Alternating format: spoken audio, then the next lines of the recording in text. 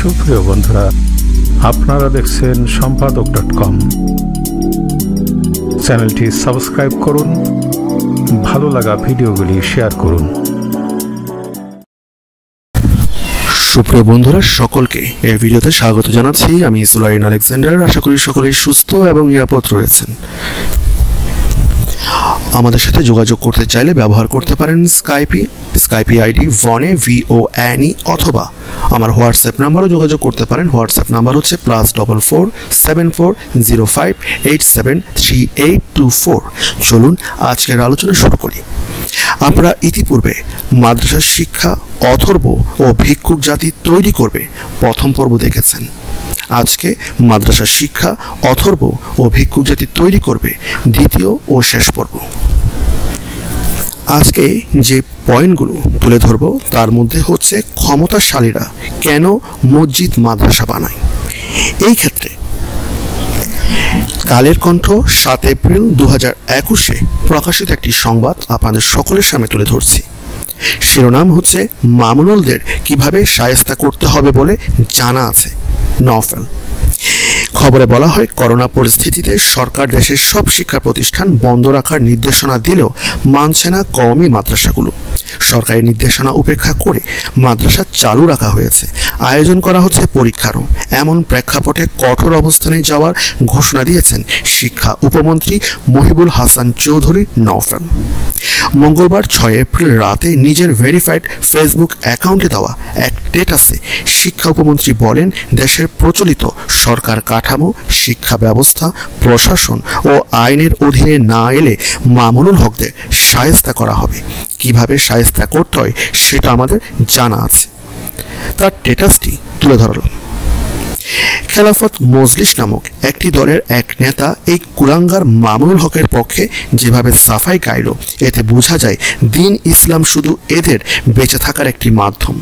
ধর্ম ব্যবসায়ী গোষ্ঠীর মনে রাখা প্রয়োজন স্বাধীনতার যুদ্ধে এই দেশের জনগণ এদের প্রত্যাখ্যান করেছে। এদের ছাড়াই জাতির পিতা বঙ্গবন্ধুর নির্দেশে আওয়ামী লীগ সহ প্রগতিশীল শক্তির সঙ্গে ঐক্যবদ্ধ হয়ে বাংলাদেশের মানুষ স্বাধীনতা ছিনিয়ে নিয়েছিল কিছু এতিম শিশুকে রাখে বলে এরা অনেকের সহানুভূতি পায়।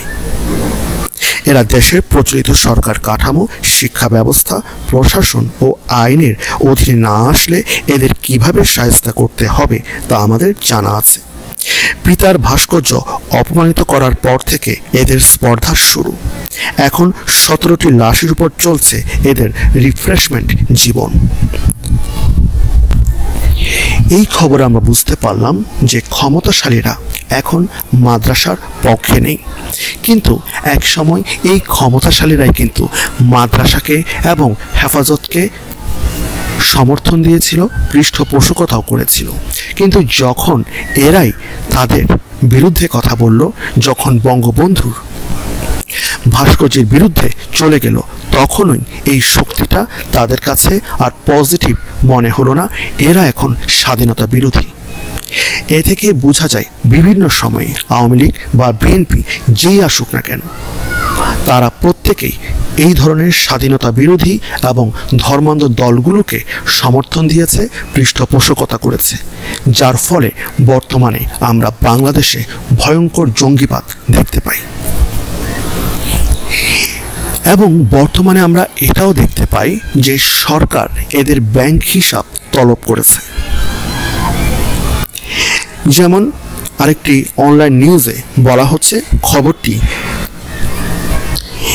এপ্রিল চার দু হাজার একুশে প্রকাশিত হয়েছে বাবুনগরী মামনুল সহ হেফাজতের চুয়ান্ন নেতার ব্যাংক হিসাব তলব। হেফাজত ইসলামের আমির মহাসচিব চুয়ান্ন নেতার ব্যাংক হিসাব তলব করেছে বাংলাদেশ ফিনান্সিয়াল ইন্টেলিজেন্স ইউনিট।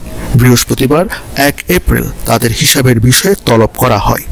এই নেতাদের মধ্যে রয়েছেন হেফাজত ইসলামের আমির, জুনায়দ বাবু নগরী, মহাসচিব নূর হুসাইন কাশিমি, যুগ্ম মহাসচিব মোহাম্মদ মামুনুল হক, হেফাজত ইসলামের সহসভাপতি মোহাম্মদ মাহফুজুল হক, ইসলামী আন্দোলনের আমির ও চরমোনাই পীর সৈয়দ মোহাম্মদ রেজাউল করিম, মহাসচিব সৈয়দ ফয়জুল করিম আল হায়াতুল উলাও, বেফাকুল মাদারিসিল আরাবিয়া বাংলাদেশের সভাপতি মাহমুদ হাসান প্রমুখ।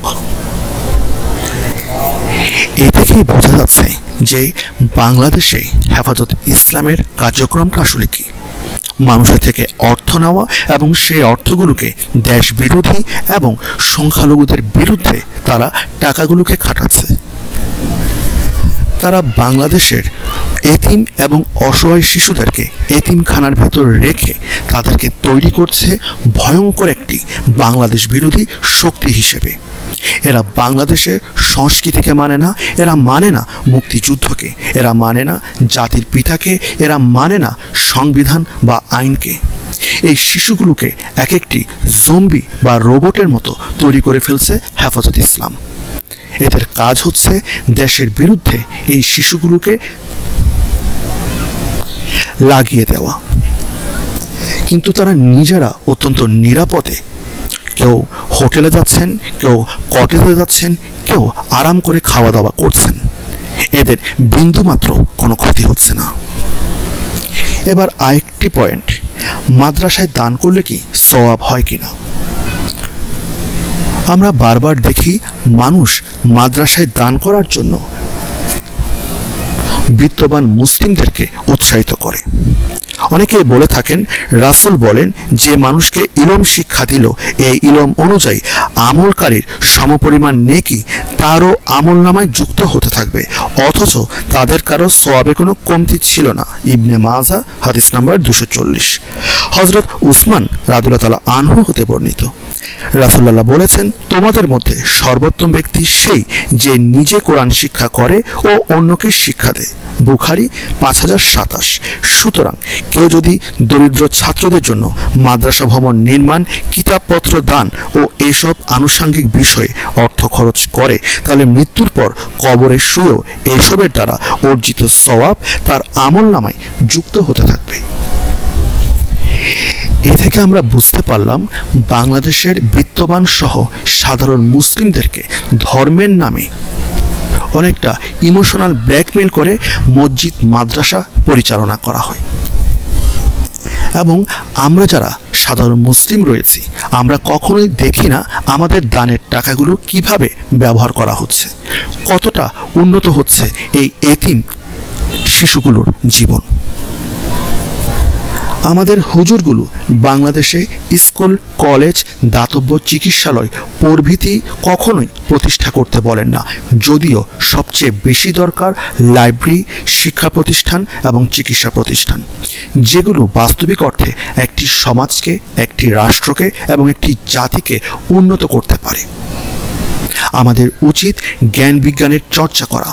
আমাদের উচিত গণিতের চর্চা করা আমাদের উচিত কম্পিউটার বিষয়ে জাতিকে আরও অধিকভাবে দক্ষ হিসেবে গড়ে তোলা।